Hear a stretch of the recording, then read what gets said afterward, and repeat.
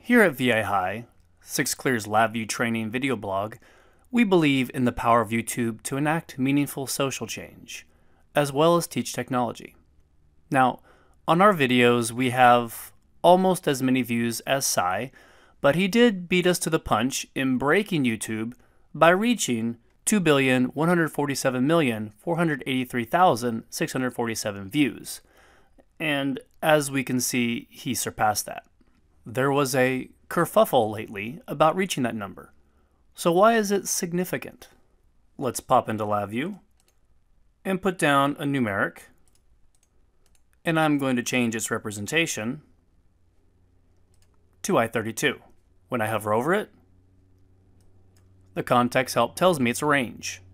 This number looks a little familiar. That was the limit to the maximum number of views a YouTube video could receive, because the data type holding it couldn't hold anymore.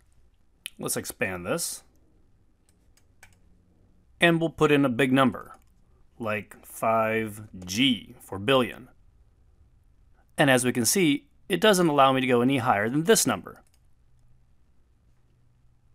If I increment, no luck. I can go down, but not beyond that number.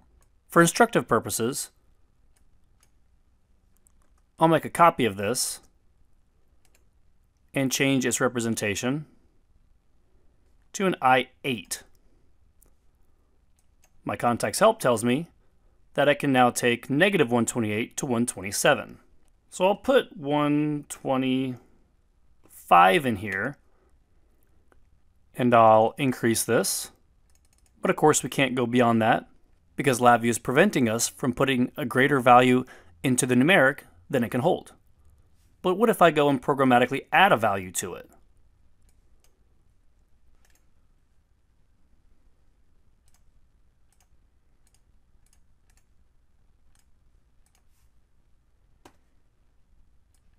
Say I take 127 and add 5 to it.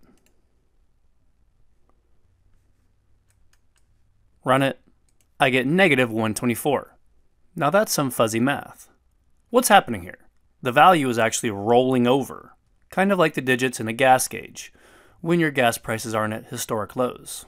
Since we added 5 to this, the next digit would have been negative 128, then negative 127, negative 126, 125, and then finally negative 124. So clearly this could be dangerous if we start adding, subtracting, or multiplying numbers beyond the range that they can contain. So let's learn about data types in general. As we saw, if I go and put down a new numeric control, LabVIEW makes it a double, DBL. What does that mean? Our context help tells us that we have around 15 digits of precision. It doesn't give us that exact range that it gave us with integers, because this is a floating point value. So I could have 1, 3, 4, 2, 6, 5, or 1.34265. So really, it's the number of digits that's more important. And with doubles, we get about 15. As we also see, that's 64 bits, or 8 bytes, of memory. And if we're in the LabVIEW environment, then that will take 8 bytes of virtual or volatile memory. If I store it to disk, it takes 8 bytes of storage. If I go and grab an integer constant from the block diagram, LabVIEW makes it an i32, possibly inspired by Psy. And that's fairly typical for most integers. And these two numeric representations are fairly typical. In most cases in LabVIEW, if we have a fractional value, it's a double. If we have an integer, it's an i32.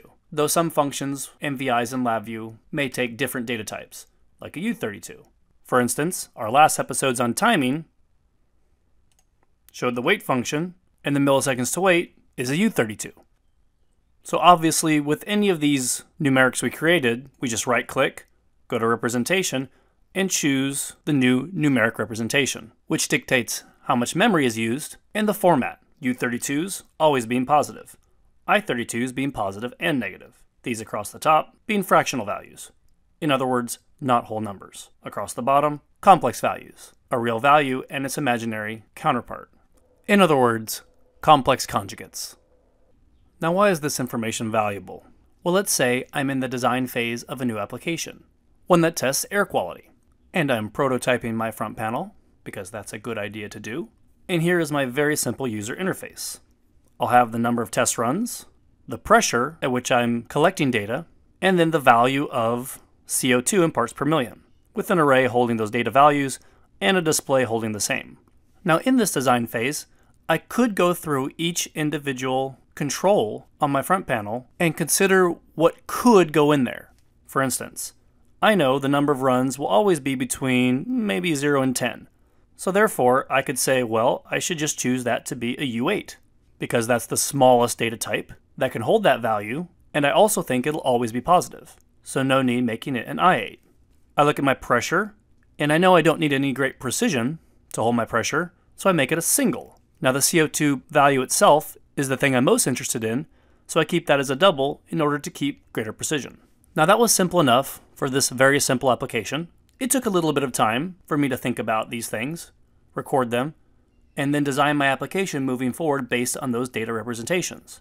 But what about the future? What if I want to scale this up? If I want to replicate it on another test stand? What happens?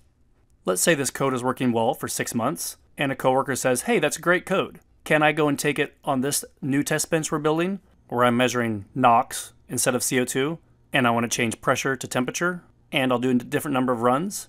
Well, I need to go through the same analysis on that new test stand. The question is, what do I really gain from that?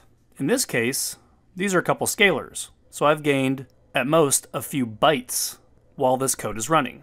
So I gain a few bytes, but I've lost some time in my reevaluation, and there's some danger. What if I'm changing pressure to temperature and I want it to be much more precise? We've seen what happens if you try to cram values into memory space that's not big enough to hold it. In an unrelated example, my girlfriend used to ask me about the future a lot, especially when I moved to downtown Austin, to a smaller condo that wouldn't accommodate any extra data. And now she's just a memory. You see how everything comes back to LabVIEW? So plan for the future. What do I mean? If you're on a modern computer, that is, with enough memory and processor juice to handle your applications, then you can just default to LabVIEW's defaults for numeric representation. That is, doubles for fractional values and I32s for integers. That's kind of a no brainer for scalars. In other words, single data values, not arrays. However, with an array, that's a bit trickier. How big is this array going to get? Is this a huge data set? Maybe in the millions? In that case, the size of the data representation definitely makes a difference. And that could spin up to megs or even gigs of extra memory, which would cause your code to lag or even crash. Now, note that this discussion applies to coding on a Windows machine, or Mac or Linux if you're using that, but not on something like an embedded device or microcontroller, where memory considerations are far different because you're working with much less available memory. Good chat. In the next episode, we're going to discuss what happens when we want to change data values, when LabVIEW changes it, which is coercion, or when we change it, which is conversion. If you like this stuff, check out our full course at sixclear.com slash training. We also delivered in person. You can meet me. I'm really not that bad. We have regional courses all over the place. For instance, I'll be in Minneapolis in April 2015. I'm excited to go to Minneapolis. Maybe I'll see you there.